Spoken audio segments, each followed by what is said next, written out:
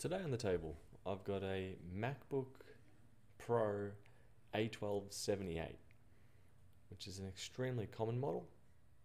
And as you can see on the bottom here, it is missing a couple of screws, which is also extremely common for this model. But anyway, this one's been brought in here for a simple problem,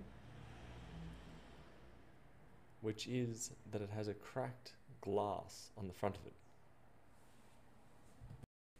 So what I'm going to be using to take this apart will be a fin pry tool, a heat gun, I've got a heat station that I'll be using on this one, and also another pry tool. So during this repair I had the heat gun set to around about 300 degrees Celsius, which was a bit overkill, especially considering some of the plastic did melt in a couple of locations. So that did have to be trimmed up and cleaned up. So you could probably get away with anywhere between probably 100 degrees Celsius to probably 150 degrees. Any more than that should not really be necessary. Probably at the absolute limit I would use about 200.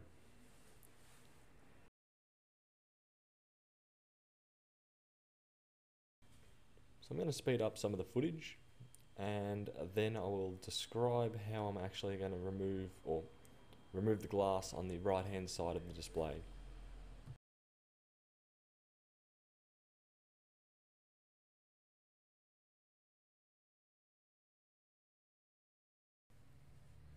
So with the screen mostly intact, I'm able to use this pressure by pulling it towards me while heating up the panel itself.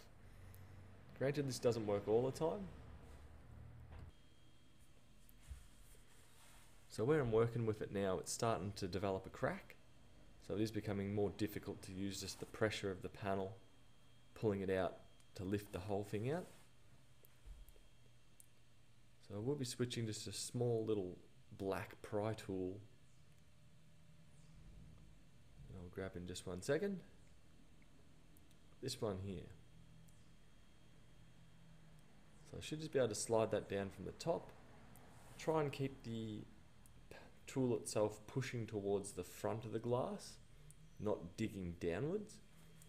If you do dig downwards, you are at risk of damaging either the Wi-Fi, or no, sorry, the Wi-Fi cables, the antennas, potentially damaging the front-facing camera, and also the various sensors that are there on that are connected via the same cable.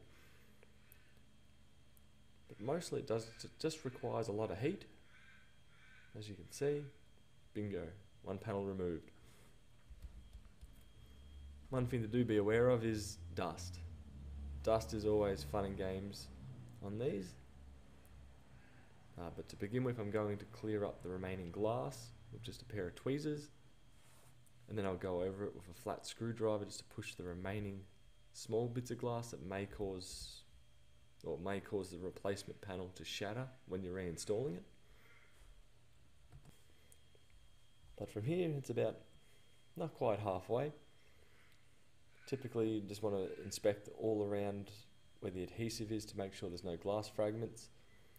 And then from there, I would give it a clean with a microfiber cloth, which I'll do later on in the video. And then after that, you'll be installing the new panel. One thing that I don't like about the new panels is they are, it's almost like the panels themselves are vacuum sealed, so you've got to peel off plastic off the back. As soon as you peel that off, it becomes staticky, and you essentially got to clean both sides of the screen to remove all dust before you put it down. So it turns into a not very fun job near the end, no matter how hard you try. But it should be something you should be able to achieve and get to a satisfactory level. So from here I'm just going to let the video play it in real time and then I'll see you in the next one. Bye.